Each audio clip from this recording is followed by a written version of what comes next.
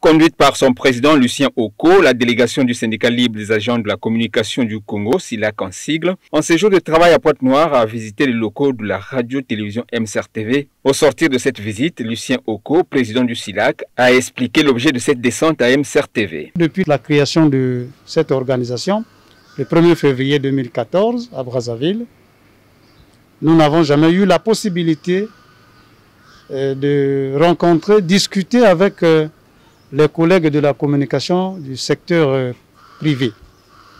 Et voilà, aujourd'hui, nous y sommes à Pointe-Noire.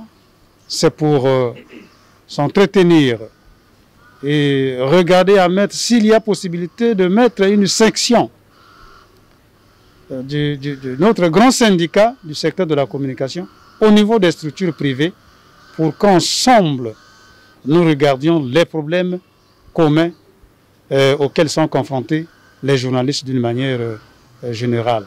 Donc euh, nous les invitons à être ensemble avec nous parce que si nous voulons aller en avant, il y a un adage vulgaire qui dit un seul doigt ne pourra jamais laver la face.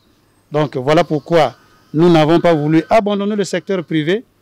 Nous voulons que nous soyons ensemble pour regarder également comment nous pouvons évoluer, se partager des difficultés auxquels nous sommes confrontés. Signalons que le syndicat libre des agents de la communication du Congo est en cours d'installation de ses antennes dans les départements du pays.